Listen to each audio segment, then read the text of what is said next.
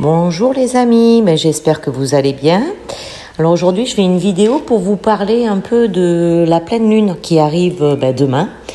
Et euh, je vais faire un peu le point avec vous sur cette pleine lune. En fait, c'est une pleine lune euh, qui est rose. Et par contre, elle promet d'être intense. Hein. Donc on va encore en prendre un petit peu.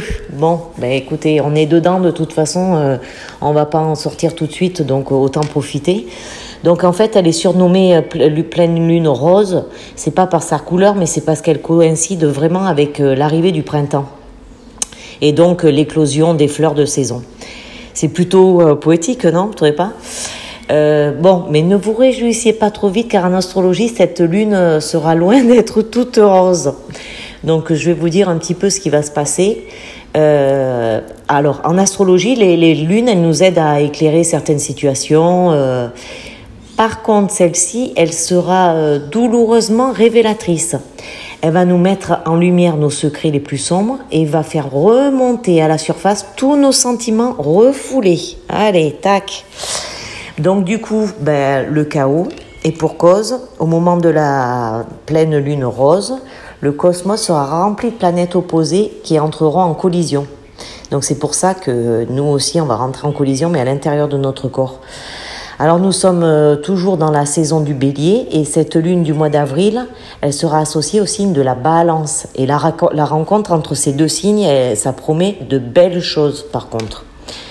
Donc préparez-vous à plonger au cœur des émotions enfouies au plus profond de vous la vérité va nous exploser en pleine figure et nous n'aurons pas d'autre choix que d'y faire face.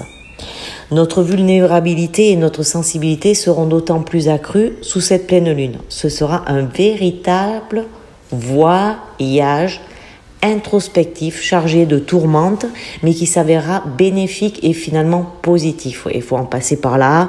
Donc on va le faire avec bienveillance, avec acceptation, et on va y arriver.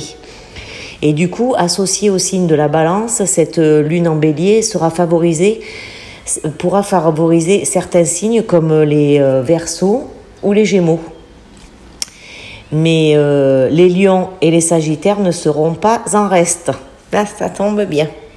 Alors, euh, certes, les effets de cette lune seront aussi désagréables et déroutants pour les signes d'eau, mais nous pouvons utiliser cette énergie à notre avantage. Alors tous les signes du zodiaque vont ressentir des effets euh, de la lune euh, de, ce mois-ci, mais quatre seront particulièrement impactés comme les, euh, les gémeaux, les versos, les lions, les sagittaires et les béliers.